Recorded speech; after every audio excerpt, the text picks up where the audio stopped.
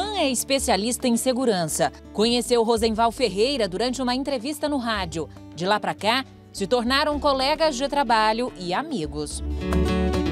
Ele é fantástico como pessoa, ele, ele é verdadeiro, ele é realmente aquilo que você vê na rádio e eu tenho a felicidade de ser padrinho das duas filhinhas mais jovens dele. Né? A jornalista Jo Almeida também trabalha com Rosenval no rádio. A admiração, que antes era só de quem ouvia as opiniões dele, virou aprendizado. Além assim, da responsabilidade, da coragem que ele tem com a notícia, Rosenbaum é um ser humano extraordinário, um coração do tamanho do mundo.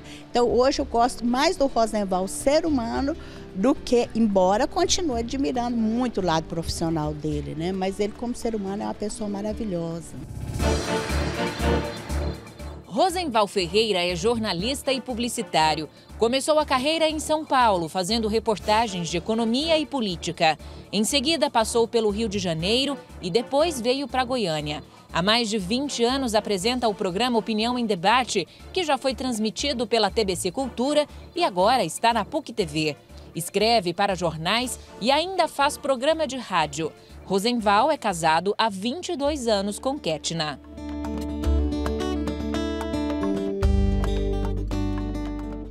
É muito autêntico, muito mesmo. Então, não tem muita divergência do Rosenval na tela, né, no rádio, as opiniões que ele emite e do que o Rosenval em casa.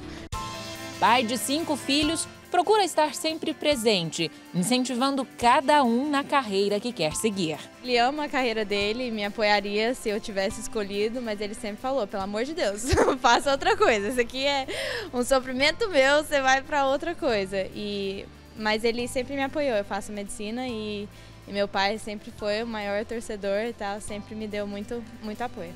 O juiz aposentado Ari Queiroz passou de entrevistado a amigo. Ele me, me convidava para entrevistas. E assim nós fomos fortalecendo, além de vínculos profissionais, ao longo desses mais de 20 anos, essas duas décadas que se passaram, também fortaleceu um vínculo de amizade bastante forte. Com Jaqueline não foi diferente. Eu era ouvinte, mandei um e-mail para o programa falando que eu gostava do trabalho e sugeri porque que ele achava da ideia de ter alguém no programa que não fosse especialista em nada, né? E ele me convidou para ir participar do programa de rádio. Já saí de lá sendo Jaqueline, a mulher moderna. Isso até hoje é uma responsabilidade muito grande. A partir de amanhã, Rosenval Ferreira vai estar na tela da Record e também na tela da sua casa. O novo quadro do Balanço Geral vai ao ar toda segunda, quarta e sexta-feira. O jornalista e publicitário tem credibilidade, mas tem também uma responsabilidade enorme, já que precisa abordar temas atuais de uma maneira que só ele sabe fazer. Olho no Olho. Esse é o nome do quadro que vai trazer informação de qualidade apresentado por Rosenval Ferreira. Ele é um jornalista crítico, suas opiniões são contundentes e muitas vezes desagrada muitas pessoas. Talvez por isso ele ainda não seja rico. Eu digo isso financeiramente, porque credibilidade e amigos o Rosenval tem de sobra.